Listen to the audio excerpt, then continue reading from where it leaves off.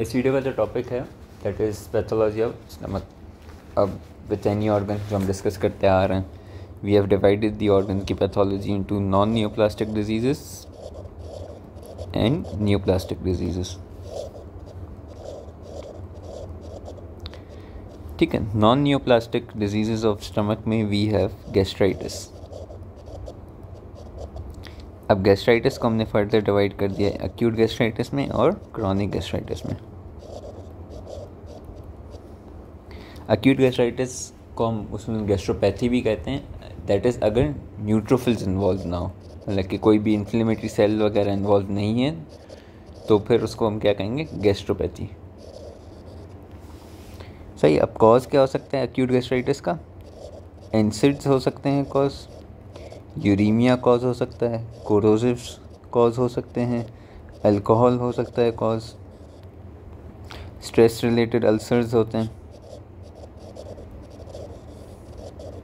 As well as Burns ठीक है? अब ये जो स्ट्रेस रिलेटेड अल्सर्स हैं, इनको हमें थोड़ा सा डिस्कस करना होगा। स्ट्रेस रिलेटेड अल्सर्स जो होते हैं they are basically due to local ischaemia अब लोकल स्कीमिया क्यों हो रही? क्योंकि वेज ऑफ़ कंस्ट्रक्शन हो जाती है अंडर सम कंडीशंस जिसमें फिर डैमेज हो जाता है of the epithelial lining of the stomach जिनको हम कहते हैं स्ट्रेस रिलेटेड अल्सर्स अब दो कंडीशंस होती हैं। एक होता है कुशिंग्स अल्सर दूसरा होता है कर्लिंग अल्सर ठीक है कुशिंग अल्सर जो होता है that is due to any disease जो आईसीपी इंट्राक्रेनियल प्रेशर को इंक्रीज़ कर दें। उस वजह से जो अल्सर होगा, उसको हम कहेंगे कुशिंग्स अल्सर और कर्लिंग अल्सर तब होता है जब बर्न्स होते हैं। ठीक है? Cushing ulcer can also be due to vagotomy वगैरह, लेकिन मेन कॉज उसका आई सी पी इंक्रीज़ है।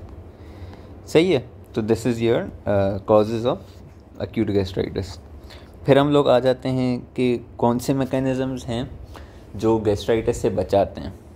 तो उसका सर फुरकान ने बताया था M B B S R M P M is for mucosal barrier ठीक है म्यूकोजल बैरियर हमारा प्रोटेक्टिव होता है against the acid secretion of the stomach उसके अलावा we have bicarbonates bicarbonates neutralize करते हैं एसिड्स को.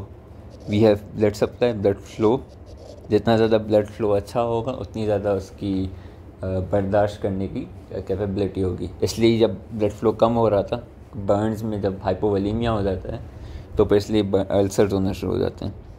S S for surface apical factors कुछ चुनिंदा सरफेस अपाइकल फैक्टर्स होते हैं जो फिर हेल्प कर रहे होते हैं सेल्स को to resist changes due to pH उसके अलावा regeneration capability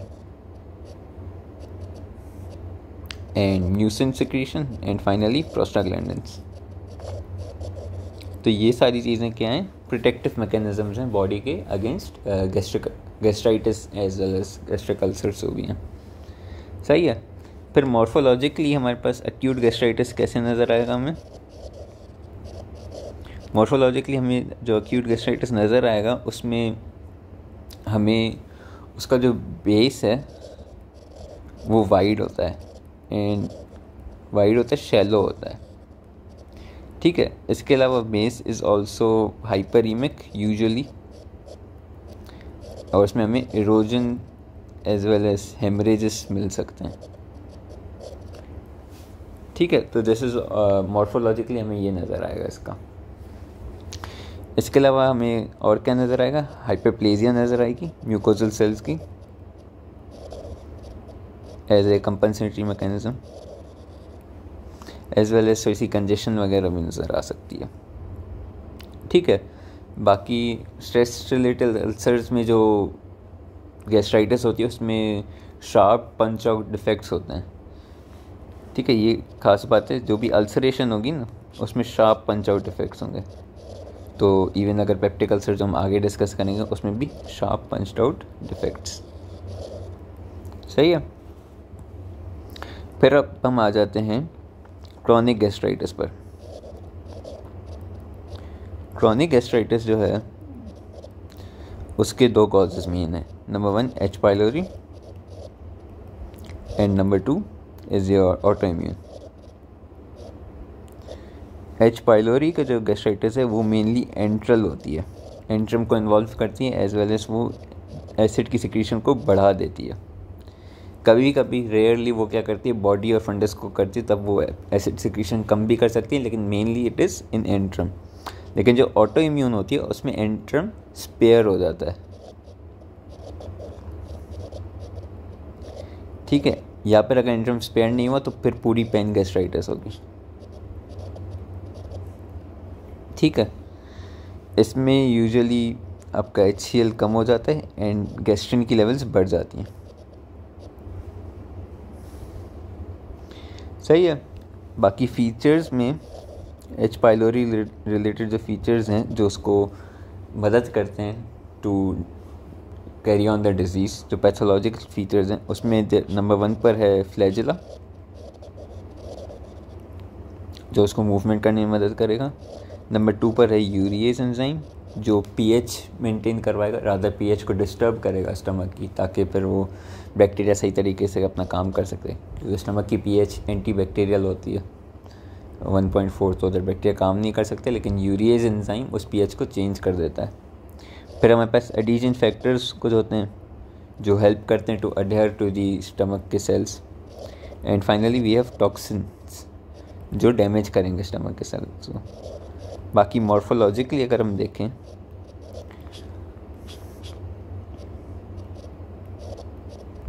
तो हमें क्या क्या मिल सकता है? इन्फ्लेमेटरी सेल्स मिल सकते हैं, जिसमें we have lymphocytes macrophages we have neutrophils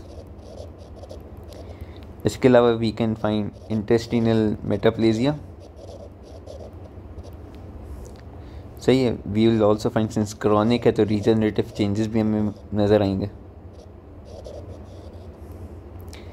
As well as we can find dysplastic changes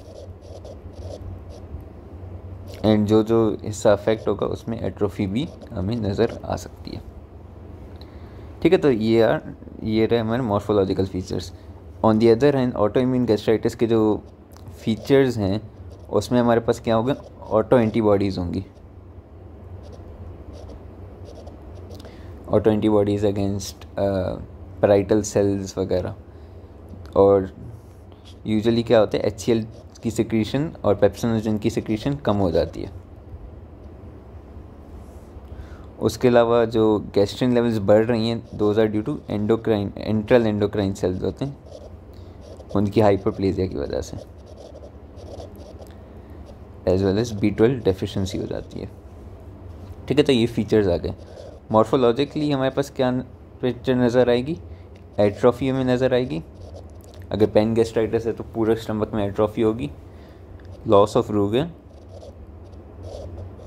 ठीक है? उसके अलावा हमें ऑक्जेंटिक म्यूकोजा मतलब कि जो एच एल प्रोड्यूसिंग म्यूकोजा है, उसका भी डैमेज नज़र आएगा। सही है। अब what are the complications of chronic gastritis तो complication of chronic gastritis there three peptic ulcer disease. We have intestinal metaplasia and we have dysplasia. उसके अलावा म्यूकोजल एट्रोफी भी है, लेकिन ठीक है, इतना इम्पोर्टेंट नहीं है। पेप्टिक डिज़ीज़ क्या है? Peptic ulcer disease is basically आपके पास क्रॉनिक गैस्ट्राइटिस हो रही है तो it is an imbalance between damaging forces of chronic gastritis and regenerative forces तो डैमेज ज़्यादा हो रहा है और रीजनरेशन कम हो रही है तो इसलिए पेप्टिक अल्सर फॉर्मेशन हो जाती है। मेनली ये प्रॉक्सिमल ड्यूडनम को अफेक्ट करता है, लेकिन स्टमक को भी अफेक्ट कर सकता है। गैस्ट्रिक एंट्रम इसकी सेकेंड मोस्ट कॉमन साइट है। ठीक है मॉर्फोलॉजिकली वही शार्प पंच्ड आउट डिफेक्ट होगा। इंटेस्टिनल मेटाप्लेजिया नाम सजेस्ट कर रहे हैं इंटेस्टिनल मेटाप्लेजिया इंटेस्टिन की तरह सेल्स होंगे जो म्यूकस सिक्रीशन ज़्यादा करेंगे। ठीक है dysplastic dysplastic changes obviously cancer की तरफ़ लेकर जाएँगे। तो ये था हमारा क्या? Non neoplastic lesions of stomach फिर हम आ जाते हैं neoplastic lesions of stomach पर।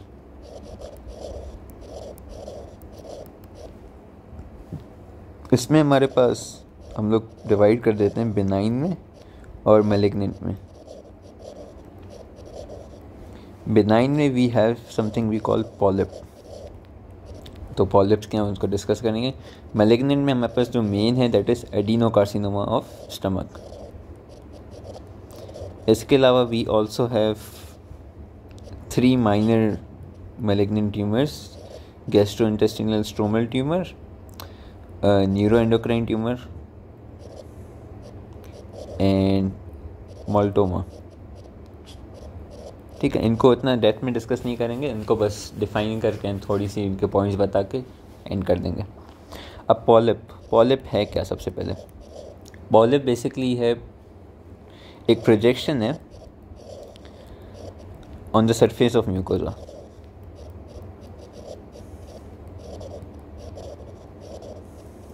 ठीक है, ये म्यूकोजा का सरफेस है, इसमें से एक हिस्सा प्रोजेक्ट करके अगर बाहर निकल के आ जाएगा तो उसको हम कहेंगे पॉलिप अब पॉलिप जो हैं वो हमारे पास बेसिकली तीन या चार किस्म के कह दो। ठीक है, चार किस्म कह दो। एक है हाइपरप्लास्टिक दूसरा है इन्फ्लेमेटरी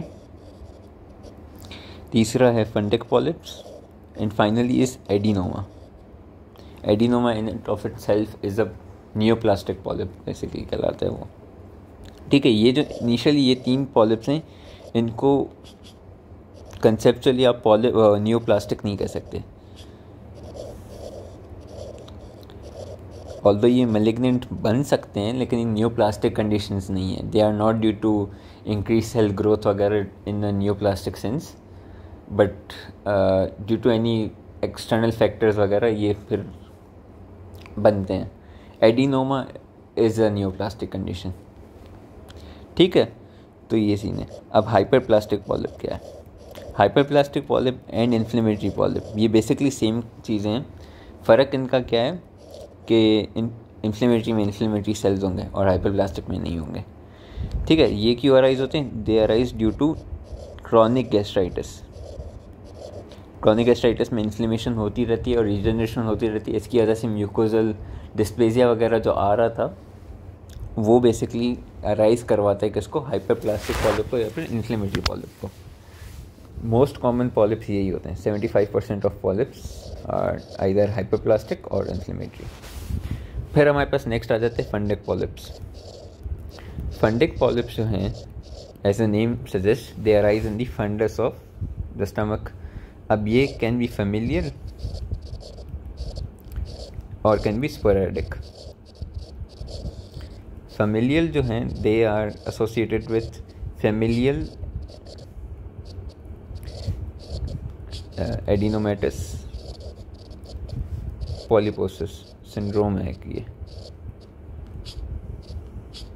इसको हम बाद में सही तरीके से डिस्कस करेंगे। इस वीडियो का ये टॉपिक नहीं है। ठीक है? इसमें ए पी सी जीन होता है, उसकी म्यूटेशन होती है। ये वाले जो पॉलिप्स होते हैं, ये रेयरली मेलिग्नेंट होंगे। यूजुअली मेलिग्नेंट नहीं होते हैं। लेकिन स्पोरेडिक का जो कॉज है that is due to proton pump inhibitors proton pump inhibitors क्या करते हैं? एचसीएल की सिक्रेशन को कम कर देते हैं, जिसकी वजह से जो गैस्ट्रिन है, उसकी लेवल्स बढ़ जाएँगी। ठीक है एचसीएल कम हो गया गैस्ट्रिन बढ़ गया है। ये गैस्ट्रिन स्टिमुलेट करेगा स्टमक के सेल्स को टू ग्रो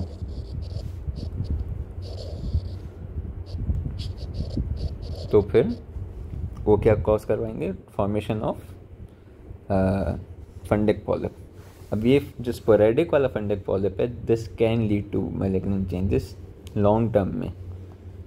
ठीक है finally we have gastric adenoma gastric adenoma जो है it forms due to mutational changes due to chronic gastritis ठीक है? ये टेन परसेंट होता है of all gastric polyps and it is three times more common in males and इसका जो chance है कार्सिनोमा में कन्वर्ट होने का that is really high that is thirty percent chance ठीक है तो that is gastric adenoma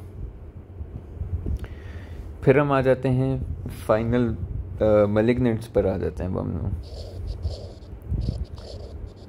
malignant में हमारे पास था एडिनो कार्सिनोमा ऑफ़ स्टमक या फिर गैस्ट्रिक एडिनोकार्सिनोमा अब ये जो है most common malignancy of stomach है एंड मोस्ट इंपॉर्टेंट भी यही है। अब ये क्यों होती है? इसके थ्री कॉजेज़ हैं। या तो जेनेटिक कॉज है, या फिर एच पाइलोरी की वजह से, या फिर एप्स्टिंग बार वायरस की वजह से। अब जो एच पाइलोरी और एप्स्टिंग बार वायरस का बेसिकली सेम चीज़ है। ये क्या करते हैं? डैमेज करते हैं सेल्स को और म्यूटेशंस कॉज करवा देते हैं। इन दी डीएनए वगैरह जीन म्यूटेशंस वगैरह कॉज करवा देते हैं। तो इसकी वजह से क्या होगा? कैंसर फॉर्म हो जाएगा एडिनोकार्सिनोमा फॉर्म हो जाएगा स्टमक का। लेकिन जो जेनेटिक कॉजेज़ हैं, उसमें हमारे पास दो मेन हैं जो आते हैं। नंबर वन है C D H one that is cadherin one gene का। And number two is A P C gene जो फेमिलियल एडिनोमेटस पॉलीपोसिस वाला जीन था वो।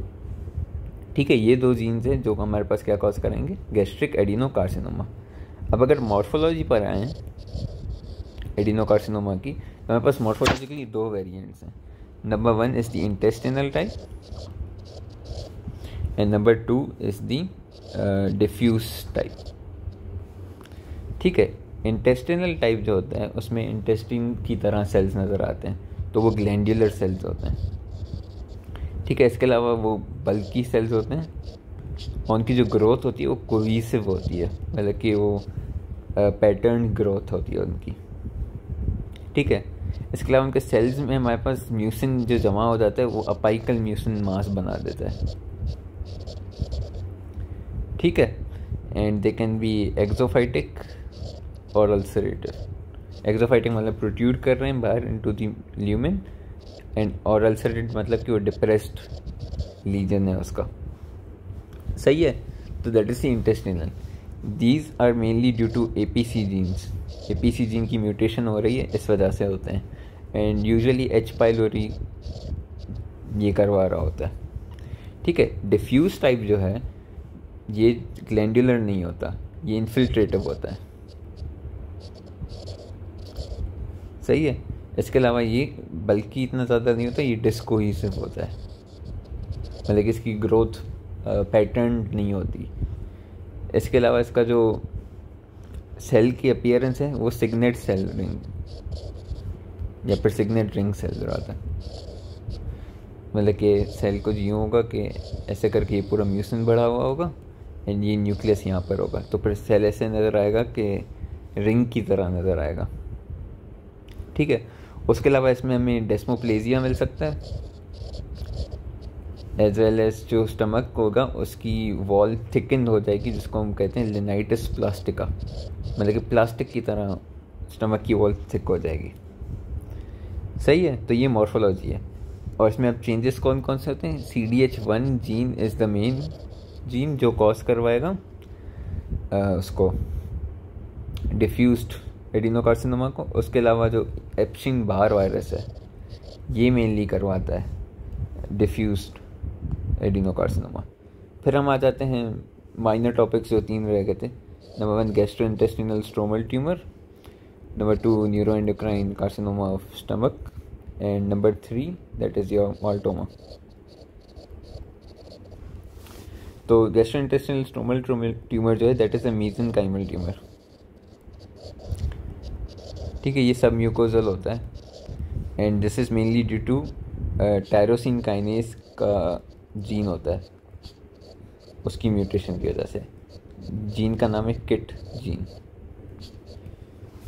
ठीक है, उसकी म्यूटेशन की वजह से वो आपका क्या? गैस्ट्रो इंटेस्टिनल स्ट्रोमल ट्यूमर ये वसूलन दूसरी जगह पर भी होते हैं, हो सकता है, लेकिन मेनली ये स्टमक में होता है।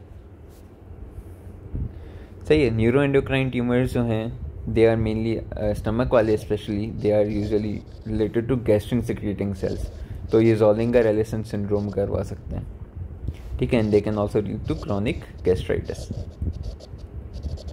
maltoma जो है it is an extension of lymphoma इसमें जो लिम्फोइड फॉलिकल्स होते हैं within the mucosa of the G I T throughout लेकिन हम स्टमक का ज़िक्र करें तो स्टमक की जो म्यूकोजा में जो लिम्फोइड टिश्यूज़ होते हैं उनका लिम्फोमा है ये ठीक है and this is usually arise due to Epstein Barr virus वो डैमेज कर देते हैं तो उसकी वजह से चेंजेस आना शुरू हो जाते हैं। सही है तो this was all for pathology of stomach